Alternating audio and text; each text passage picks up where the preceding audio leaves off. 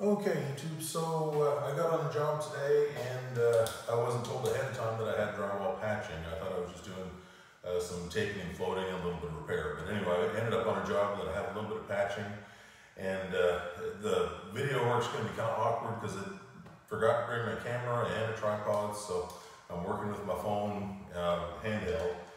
Uh, but anyway, so I'm on a job site, and I don't have drywall, like I said, because I wasn't warned.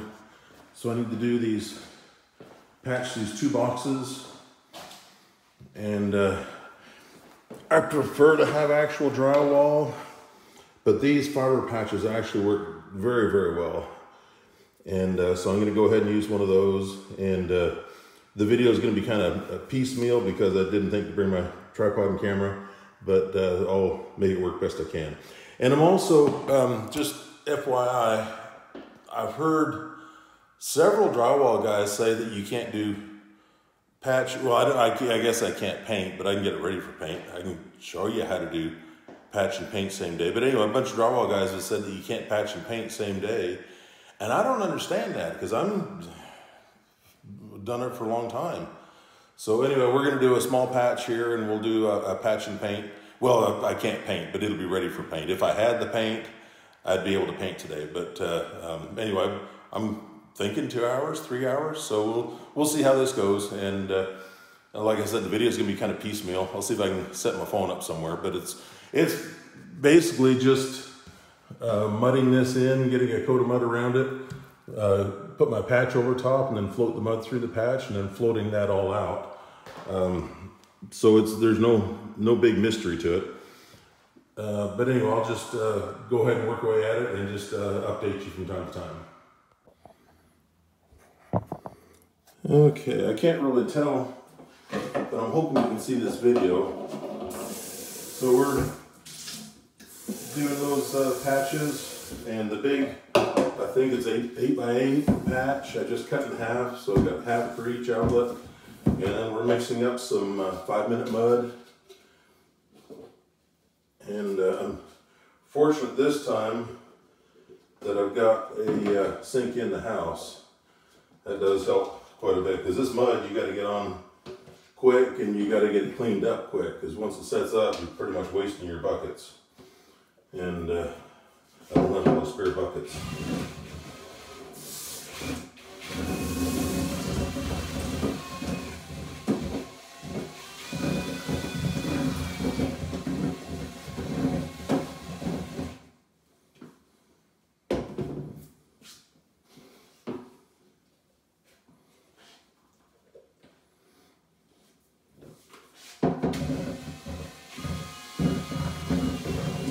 One you want fairly thin because it's got to penetrate all those little holes.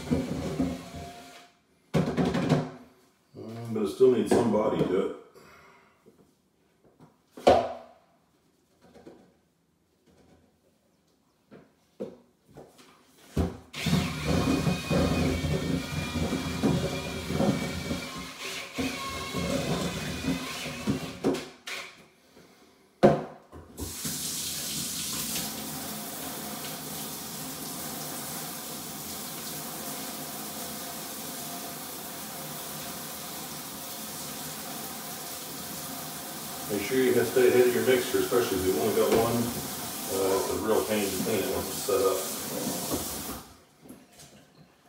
Okay, let's head back to our patches. Okay, I'm not sure how much you're going to be able to see. Sorry about that. Okay.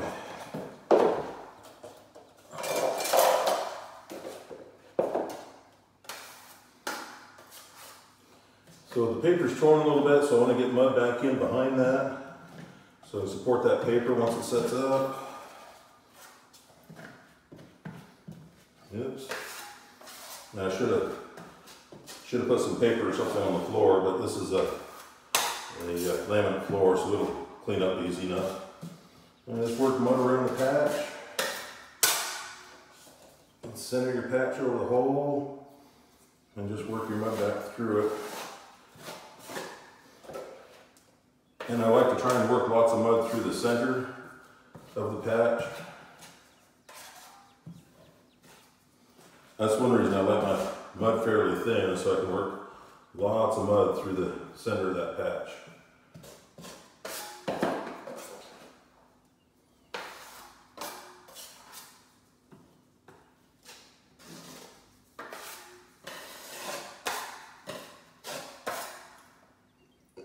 patch.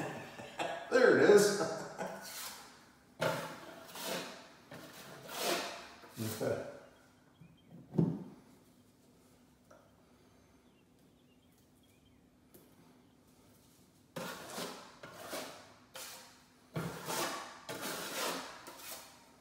Beauty. And this one, there's no torn paper around it, so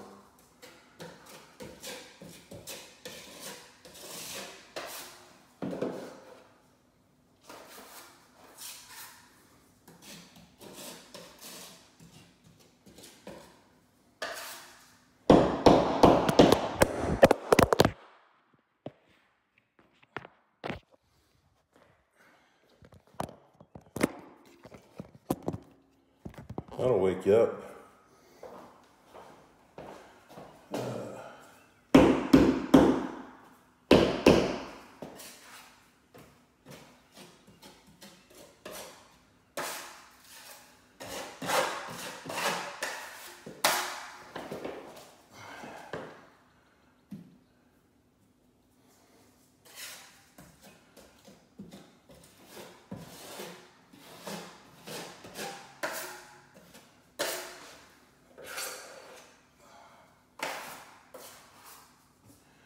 And again, lots of mud through the center.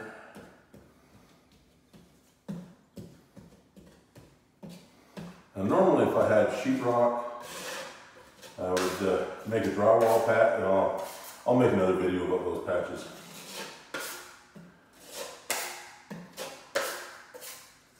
And this one, don't even try to make it pretty.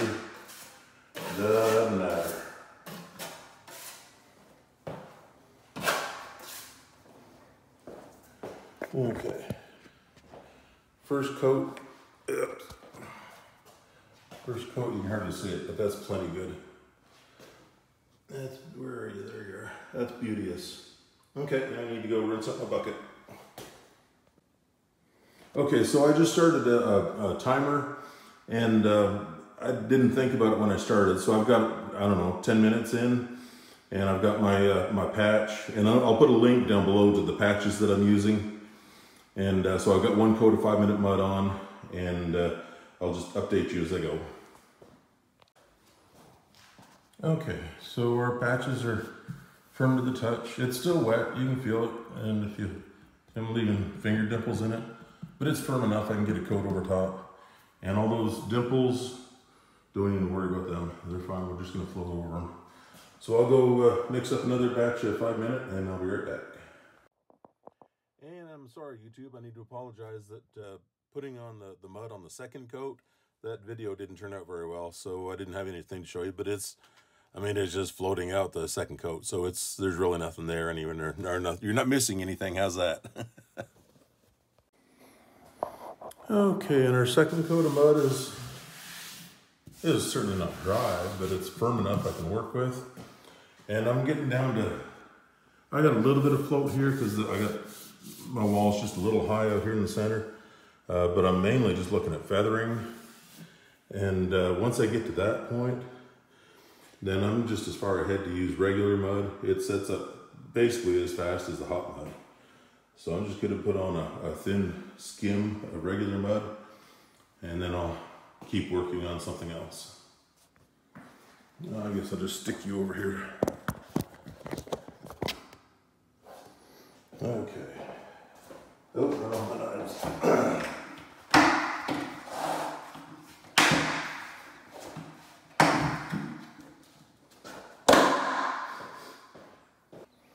Well, it's starting to get dark outside. I think we got some rain coming. Okay.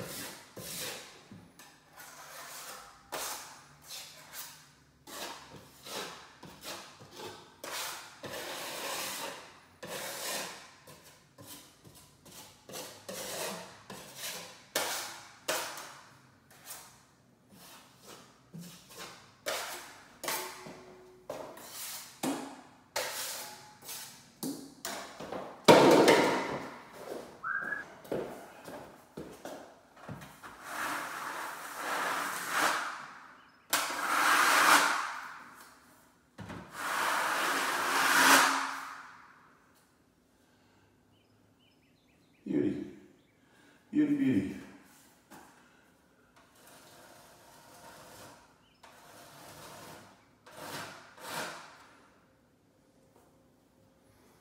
Yep. So that's actually ready for texture. Uh, I'll let it set up a little bit and then I'll feather in the edges and uh, it's ready to shoot.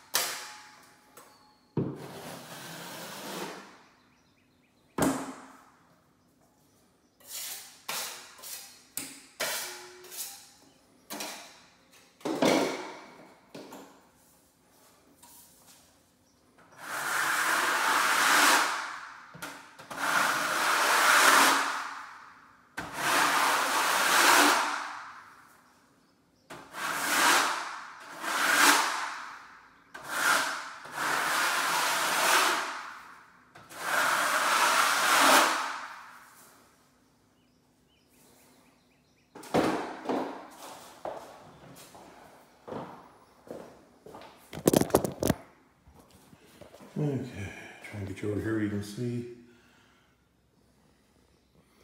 Once it gets, like I said, once it gets to drying a little bit, I can just feather in around the edges. And I can't do it now because then I'm gonna leave a, a bigger dimple than just blending. But I'll just go around the edges and actually, you know, it's really not bad at all. I might be able to just shoot it as it is, but I'm gonna give it a little bit to start crisping up on the edges so I can just double check them. But that's good. Two coats of hot mud and uh, one thin float with regular mud and another 30, 40 minutes. I'll be able to do the, the edges and then get it all masked off and shoot it. Okay, and it's this is all set up enough. I'm just gonna go around and feathering that edge to the texture.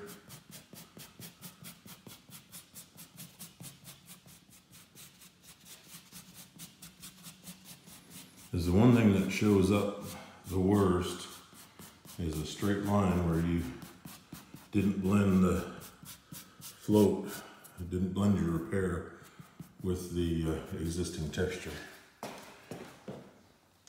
And these are actually really good. I don't think I even need to do this, but it just, just kind of insurance.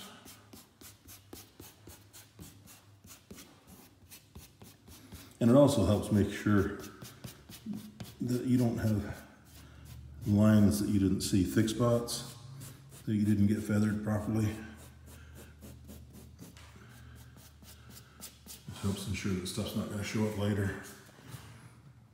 And I, I have a tendency to do that down here on the bottom where I don't see it that well or getting old, don't bend as the way you used to. But yeah, that'll be fine.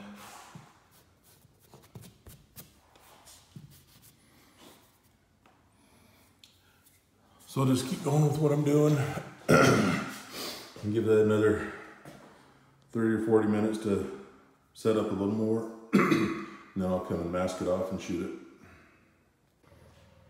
Okay, so here we are all masked and ready. And uh, the patches are still damp, but so what? Uh, I got everything feathered in around the edge. That's what matters as far as I'm concerned. They can dry at the same time as the texture. And uh, main thing with, with uh, the uh, texture blower is you want the inside edge sealed tight because the blower blows out a lot of air and it's going to lift your your uh, uh, plastic or your masking if you're not uh, if you don't have it sealed down tight. And really, I didn't need to do that wall, but I don't like all the the little overspray, um, the the little wee particles that get all over the place. So that's just kind of help prevent that. so I'll go get the texture gun already. Okay, so if you can see it, it's the mud. It's not real loose. Um, I don't want it to shrink too too much. Uh, you're not gonna be able to see what this texture looks like on the video. Really can't tell. Doesn't help. So anyway.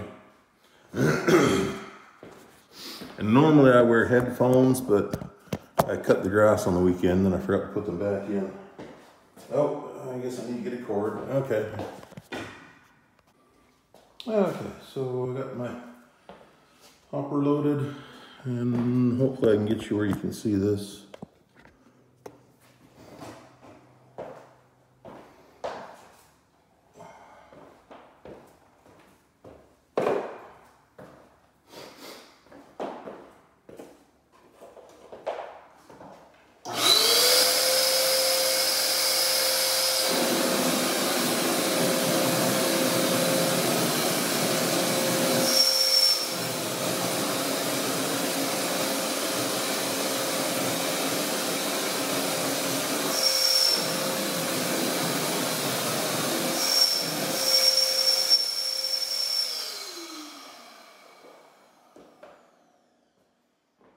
That's it, easy peasy. We'll let that set up and uh, see what it's gonna look like. I think it'll probably shrink down just fine. And you don't have to wait for it to totally dry either to know what it's gonna look like. You'll know in 15 or 20 minutes. And I, I think it'll probably need just a little more over here. I know you can't tell on video, but so it may need a little bit of touch up, but ain't no thing. We'll go do some other stuff and then we'll come back to it. Okay, and this is drying up pretty good. I think we're gonna be fine. So I'm gonna go ahead and uh, give it a knockdown just to kind of take the top off it. Just a nice light pass. And just FYI, when I'm doing smaller patches, I use a, a small knock, knockdown knife because uh, obviously when you do a patch, you're going to have raised parts of uh, the drywall mud. Uh, your patch nat- naturally is going to be higher than the surface around it, and that's kind of what you're doing with your mud is to blend it all together. so if you use a big knife, it's going to ride down the high spots, and you're going to end up with a flat where your high spot is, and you're going to end up with no, not knocking down anything where the low spots are. And if you're not careful, you're going to really accentuate the height of your patch. So I always use a small knockdown knife on these small patches so that I can work around my highs and lows and I can blend it all in so you don't end up with a, a long ridge or a, um, a long flat ridge or a long um, deep ridge, however you want to say it. And my knockdown knives, they're of my own making. I just use a, an old putty knife, and you can get weather stripping, like door weather stripping that's got adhesive tape on it. And uh, so I just cut those to length with the putty knife I'm using and peel off the paper and stick those to the edge of my putty knife. And then I can make a knockdown knife whatever size I want. Uh, like in this example we're looking at here, we've got a small patch, so I'm using just a four inch knife. But if I'm doing a, a bigger surface, I can use a, uh, a, you know a 12 or a 14 inch uh, knife and make my own knockdown blade so that I can just hit a, a big sweeping area.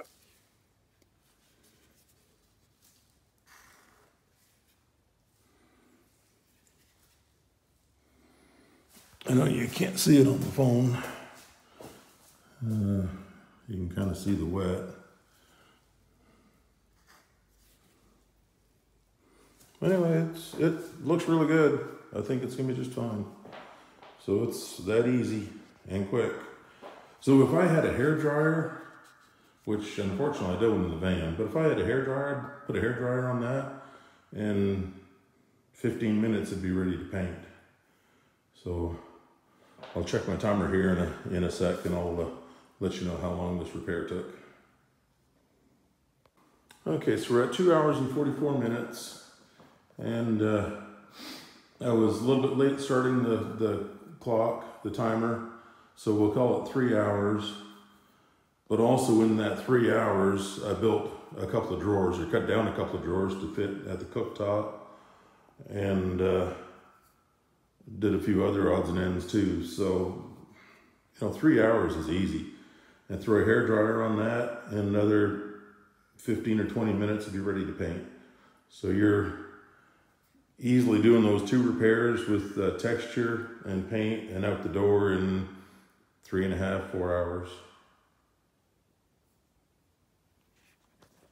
Well, first of all, guys, I need to apologize that the video wasn't better on that. I didn't go go to that job well prepared, and uh, uh, it, it really wasn't very well done. But uh, hopefully, it'll give you the idea of what's going on, what I'm doing.